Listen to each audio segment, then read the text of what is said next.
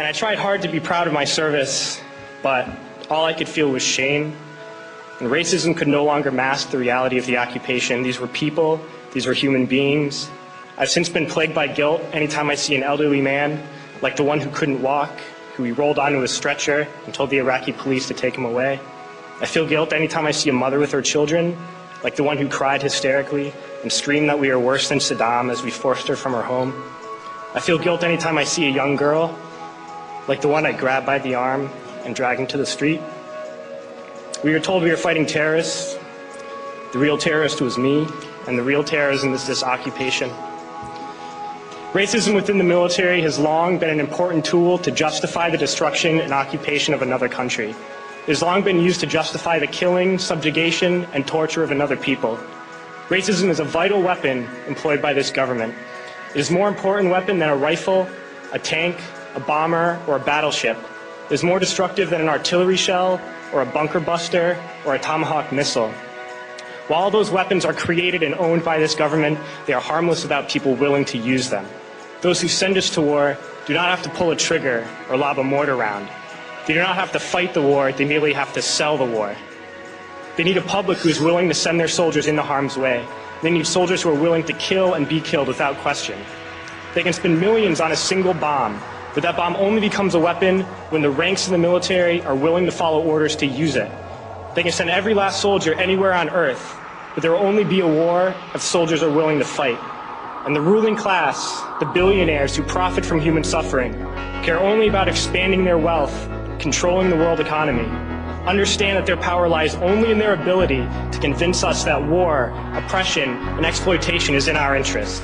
They understand that their wealth is dependent on their ability to convince the working class to die to control the market of another country. And convincing us to kill and die is based on their ability to make us think that we are somehow superior. Soldiers, sailors, Marines, airmen have nothing to gain from this occupation. The vast majority of people living in the U.S. have nothing to gain from this occupation. In fact, not only do we have nothing to gain, but we suffer more because of it. We lose limbs, endure trauma, and give our lives. Our families have to watch flag-draped coffins lowered into the earth. Millions in this country without health care, jobs, or access to education must watch this government squander over $450 million a day on this occupation.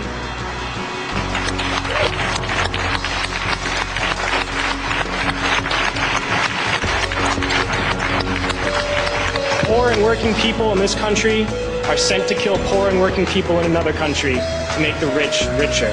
And without racism, soldiers would realize that they have more in common with the Iraqi people than they do with the billionaires who send us to war.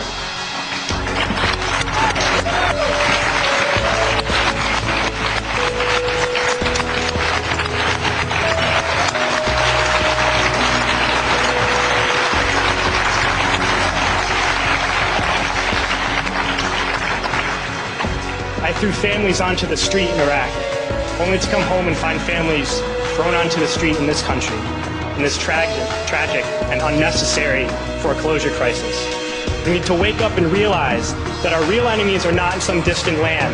They're not people whose names we don't know and cultures we don't understand. The enemy is people we know very well and people we can identify. The enemy is a system that wages war when it's profitable. The enemy is the CEOs who lay us off from our jobs when it's profitable. It's the insurance companies who deny us health care when it's profitable. It's the banks who take away our homes when it's profitable. Our enemy is not 5,000 miles away. They are right here at home. If we organize and fight with our sisters and brothers, we can stop this war, we can stop this government, and we can create a better world.